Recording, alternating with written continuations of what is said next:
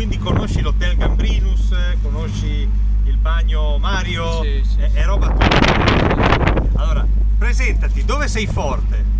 Ah, io sono uno scalatore e basta. Ma come nasce uno scalatore a Cesenatico? Cioè, è una cosa che io tuttora non ci credo, ma perché tu nasci scalatore? Dove ti alleni? Qual è la tua montagna? Eh, ma perché noi partiamo dal basso, siamo a livello del mare, quindi c'è solo da andare in su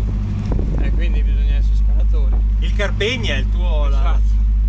Qual è il tuo tempo sul Carpegna? Diamoli una, una dritta per i cicloamatori che ci seguono. Non, ho, non ho mai provato sinceramente a prendere tempo su, sul Carpegna, però adesso proverò.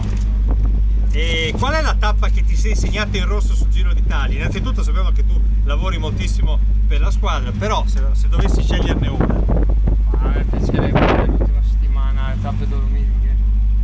di quelle, anche se non escludo che quella di bagno è interessante. eh beh, insomma, quella è casa tua. Esatto. Meglio i quattro passi o lo Stelvio per Emanuele Senni? Stelvio. Lo Stelvio, quindi salite lunghe, lunghe, lunghe. Quanto ci metti più o meno a fare lo Stelvio?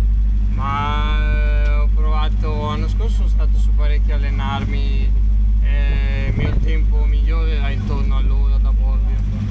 Allora, io ci ho messo 5 ore e mezza, vabbè, ma sono categorie differenti, io categorie pancioni. Vuoi salutare tutti gli amici della Repubblica Biciclette che seguono la Romagna? Un saluto da Manuel a tutta la Romagna. E anche a Matteo che ci ha Eh. segnalato. esatto. Lo vuoi fare anche in romagnolo? Dai, in dialetto. Su. Un saluto a tutti. Grazie Matteo. Go go go a tutta.